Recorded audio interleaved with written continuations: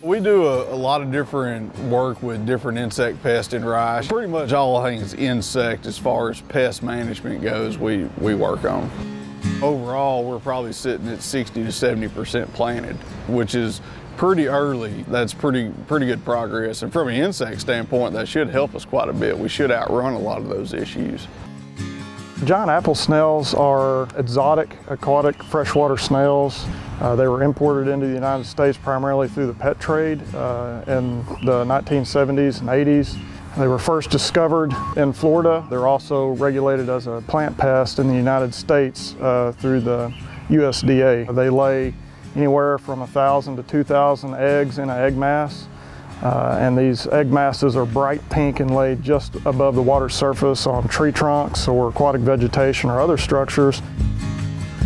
A few weeks ago, some apple snails were found uh, in Saline County. They come up in a crawfish shipment from, from Louisiana.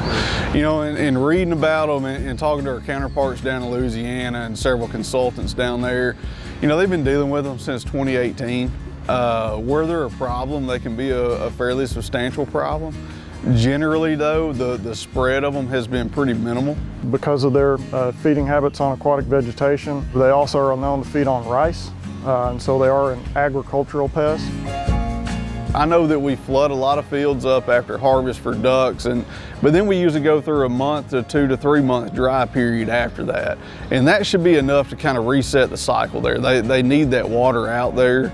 While we may not keep rice flooded year round, it does sound like they can infest like surface irrigation ponds. So your reservoirs, your ponds that you're, you're watering out of, if they do infest those, they can be moved around through, you know, irrigation. They can be moved from field to field through irrigation that way out of those ponds. As long as we're starting with a good clean seed bed and, and not keeping it flooded year round, we, we should be okay. It should it shouldn't impact us too much. They uh, have been impacting the uh, Louisiana uh, crawfish industry for several years.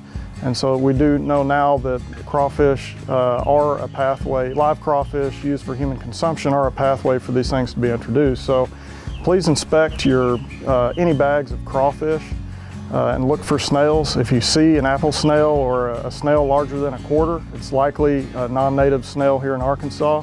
Uh, report it immediately to the Arkansas Game and Fish Commission. On our website, we have online reporting form, or you can call uh, the Aquatic Nuisance Species Coordinator and report it directly. I would tell folks just to keep an eye out.